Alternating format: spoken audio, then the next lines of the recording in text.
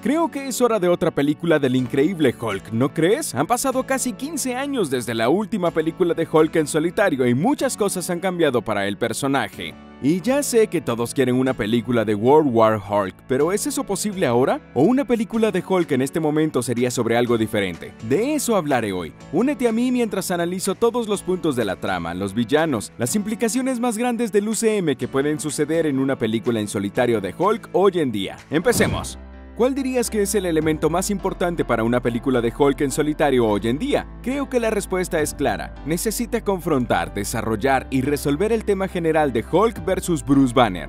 Todo el personaje se trata de dos individuos en guerra entre sí todo el tiempo. Uno es el científico nerd y el otro es una imparable fuerza bruta. Esa es una dinámica increíble que puede impulsar todo tipo de películas y sin embargo la franquicia no le ha dado a esa historia el espacio adecuado para desarrollarse. No puedo decirte lo frustrado que estoy por el trato que el UCM le ha dado a Hulk en general. Espera, sí te lo puedo decir, es mi video. Sé que la razón por la que no ha habido otra película de Hulk en solitario es por un problema de derechos complicado, así que no culpo a los de arriba. De lo que sí los culpo es de desarrollar una historia de personajes compleja con un personaje secundario durante los últimos 10 años y luego no continuar con ella en su momento crucial. Todos sabemos que en el UCM siempre ha habido una batalla entre Bruce Banner y Hulk. Thor report on the Hulk?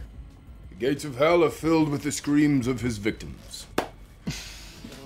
Cuando Bruce se parecía a Edward Norton, estaba tratando de curarse del otro sujeto. Luego sucedió el reinicio donde su rostro y personalidad cambiaron un poco con la presentación de Mark Ruffalo como el nuevo Bruce, pero mantuvieron la historia de fondo. Se sentía como si todo se tratara sobre los desacuerdos entre ellos dos, y cuando digo ellos dos obviamente me refiero a Bruce y Hulk y no a Ruffalo y Norton, lo que habría sido increíble pero también confuso. En fin, cualquier película en solitario necesitaría resaltar este conflicto central para que tuviera éxito. Entonces, ¿qué es lo que ha pasado con Hulk hasta ahora? En Los Vengadores se vio que Bruce tenía miedo de dejar salir a Hulk, pero luego el giro fue que siempre estaba enojado y Hulk podía aparecer en cualquier momento que Bruce quisiera. ¿Fue una frase célebre? Por supuesto. ¿Tiene sentido? sí, claro. Bueno, un poco en realidad. Luego desarrollaron más al personaje. En Era de Ultron terminó apoderándose de Banner por completo y abandonó la Tierra porque se sentía culpable mientras estaba bajo el hechizo de la bruja escarlata. Esto lo llevó a Sakar, donde fue gladiador durante años. ¿Y qué es lo loco de esto? Bruce no tenía idea. Cuando regresó a ser Bruce en Thor Ragnarok, habló sobre vencer a Ultron y no fue consciente de que Hulk le había quitado años de su vida. Ese es un problema.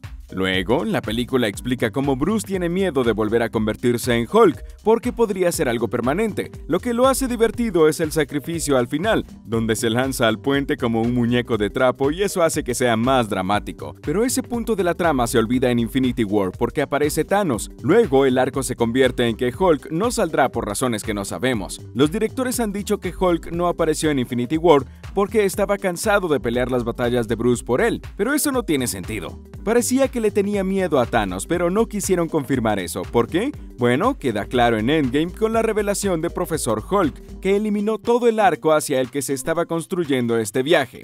Todo lo que acabo de mencionar parecía indicar que Hulk y Bruce necesitaban llegar a un acuerdo entre sí de alguna manera y todo conducía a una resolución en Endgame, pero no, no hubo tiempo para esa historia, y aunque la película es todo lo que queríamos que fuera, nos deja al gigante verde de una forma que no muchos esperaríamos, y bueno, la pregunta es ¿ahora qué?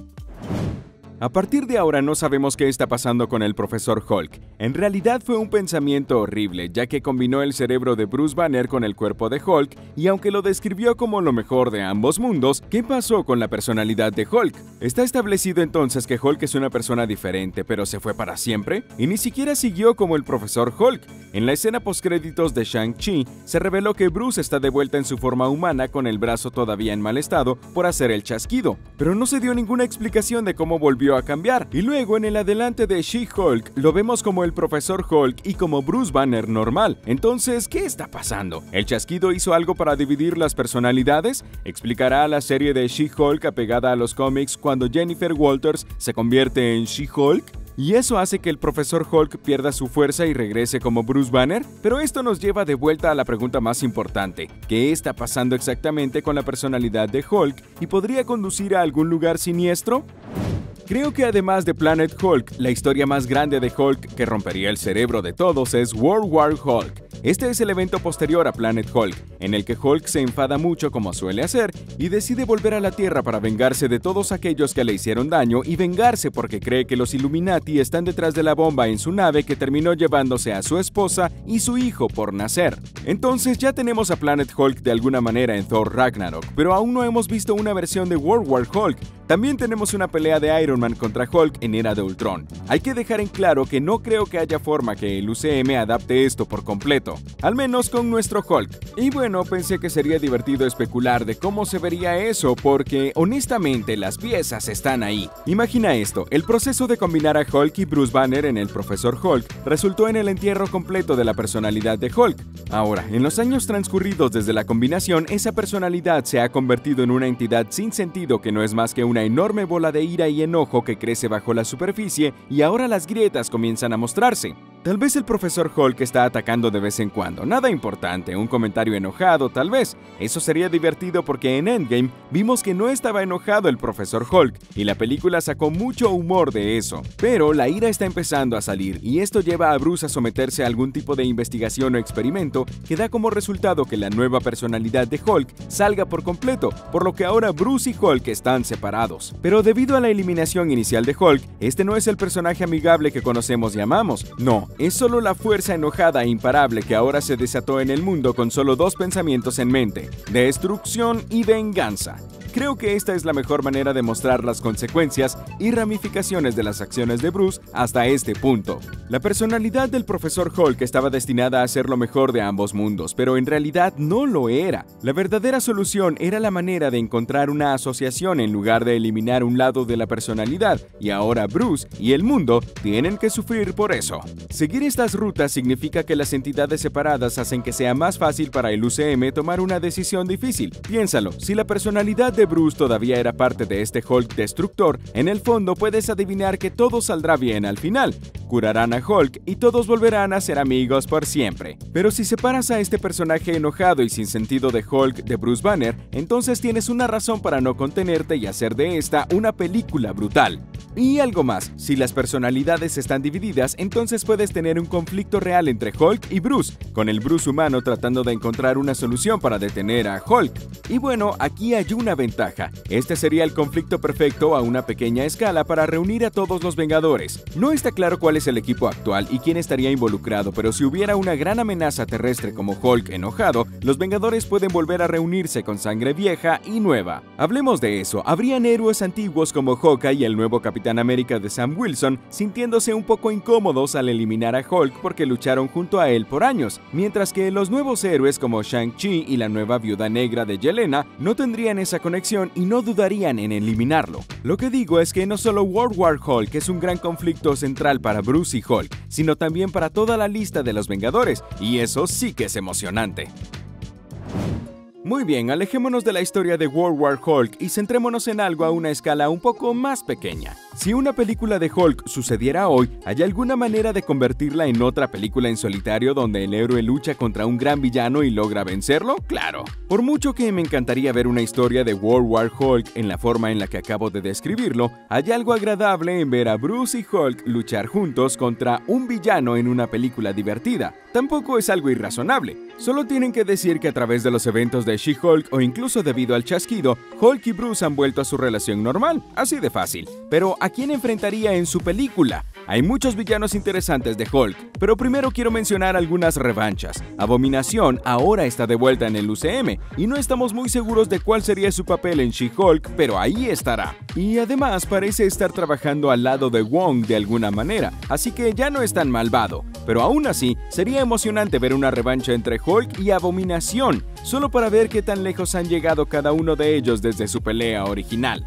Por supuesto, también me gustaría volver a ver a El Líder. Ese fue un avance de la trama que solo se resolvió en los cómics y quiero que se desarrolle por completo. Es uno de los hilos de trama pendientes más extraños que aún quedan en el UCM, así que ¿por qué no traer de vuelta al líder? Y como beneficio adicional, este personaje sería increíble como contrapunto para Bruce. Piénsalo, en el increíble Hulk, Samuel Stearns fue infectado por la sangre contaminada de Bruce y se transformó en el líder, y Shield lo encerró de inmediato. Si yo fuera él, estaría muy enojado. Ahí tienes a Bruce Banner que pasó de ser un chico en constante fuga a un amado vengador que ayudó a salvar el mundo, mientras que al líder no se le dio una oportunidad. estaba encerrado por su interacción con Bruce y eso fue todo. La relación entre los dos ahora sería oro porque el líder sería la primera persona a la que Bruce Banner podría enfrentarse en realidad. Sí, sí, nos encanta ver a Hulk luchar contra oponentes fuertes, pero nunca hemos visto a Bruce probado con su inteligencia, y ese es un lado del personaje que quiero ver. Si quisieran, también podrían traer de vuelta al padre de Bruce en este punto.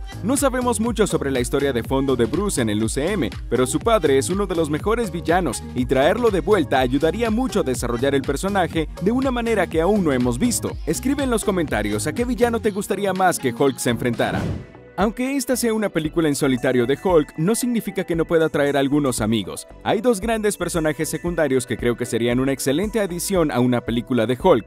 La primera es She-Hulk. Sí, sé que She-Hulk tendrá su propia serie, pero después de eso, sería raro que no fuera parte de ninguna historia importante de Hulk, e incluirla ayudaría a tener mejores escenas de acción. Pero no me malinterpreten, Marvel TV ha brindado excelentes ritmos de personajes junto con una acción sólida, pero aún no están al nivel de las películas. Podría ver a She-Hulk como una serie que se centra en que ella es abogada y hace cosas de abogada, lo cual me encantaría ver porque creo que es un lado del UCM que aún no hemos explorado. Y luego en la película podrían unirla con Hulk para aplastar todo. Suena divertido, ¿cierto? Además de eso, estaría interesado en la presentación de Amadeus Cho, quien en los cómics se convierte en Hulk después de Bruce Banner. ¿Podría una película independiente de Hulk servir para pasar la antorcha a Amadeus para que pueda continuar con el legado de Hulk? Ese sería un concepto divertido para una película del UCM y estaría en línea con lo que han estado haciendo con los personajes heredados. ¿Y saben quién más debería volver? Betty Ross. El UCM la borró por completo de la historia, a pesar de que era el principal interés amoroso de Bruce en el increíble Hulk. ¿Qué ha estado haciendo en este tiempo? ¿Por qué Bruce no se ha acercado ahora que es un vengador? Esto podría cerrar el arco de su personaje, por lo que deben incluir a Betty. Aún no he mencionado un componente crucial, y ese es el multiverso. Sabemos que el multiverso está a la vanguardia del UCM en este momento y definirá nuevas historias en esta franquicia en los años venideros. También abre la puerta a increíbles posibilidades que nunca antes pudimos ver. ¿Recuerdas que mencioné que World War Hulk sería difícil de hacer en el UCM ahora? Bueno, con el multiverso no tanto. Simplemente vayamos a un universo donde Planet Hulk y World War Hulk están sucediendo y sería una explicación fácil. El gran inconveniente con el multiverso es cómo disminuye las apuestas para el universo en el que nos encontramos ahora. ¿Por qué debería importarme si Viuda Negra se sacrificó en nuestro universo cuando técnicamente hay una cantidad infinita de Natashas allá afuera? Si bien es una crítica justa, creo que se equilibra con el hecho de que diferentes universos abren las puertas a todo tipo de historias diferentes que no podíamos ver antes. Pasé mucho tiempo insistiendo en la caracterización de Bruce y Hulk durante su tiempo en el UCM, pero con el multiverso podemos retomar algo de eso y encontrar un Hulk en un mundo sin todo esto y darnos una mejor película de Hulk sin lastimar a nuestro Hulk. Eso no sería tan malo, ¿verdad? Además, si quieren volvernos locos, ¿por qué no hacemos un crossover del Hulk de Eric Bana con el de Mark Ruffalo? ¿O por qué no mejor una versión de Hulk que se parezca a Edward Norton y unimos a los tres actores en la película del multiverso de Hulk? Mm, ¿Es mucho? ¿Solo funciona con Spider-Man? Mm, creo que sí. Solo he arañado la superficie de grandes historias de Hulk que aún podrían adaptarse en una película en solitario. ¿Qué otros cómics de Hulk te gustaría ver en live action que todavía se podrían hacer? Creo que podrían hacer algo con la futura versión malvada de Hulk Maestro con el multiverso en juego. Porque la verdad sería genial ver a Hulk luchar contra una versión de sí mismo, o podrían traer a cualquiera de los otros colores de Hulk como Grey Hulk. También creo que el UCM podría adaptar historias como Immortal Hulk, que trajo un elemento de misticismo con Hulk muriendo y resucitando una y otra vez. Solo digo que hay muchas opciones cuando se trata de historias de Hulk y hemos hablado muy poco de eso, hay que hacerlos realidad.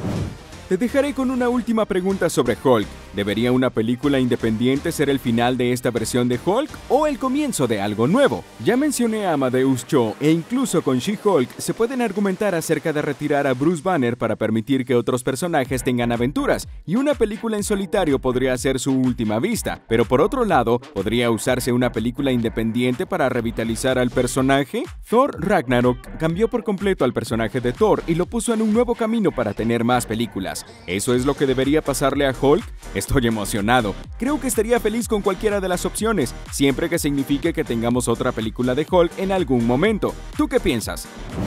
Si Hulk puede tener otra película en solitario, ¿quién más merece una? ¿La viuda negra de Florence y su antigua familia? ¿Hank Pym en sus inicios como Ant-Man? ¿Un spin-off de Rocket y Groot? En el UCM no hay escasez de opciones, pero yo quiero ver a Hulk primero. ¿Y tú? Enviamos un saludo a Elías Aimé. Gracias por vernos y que tengan un día de película.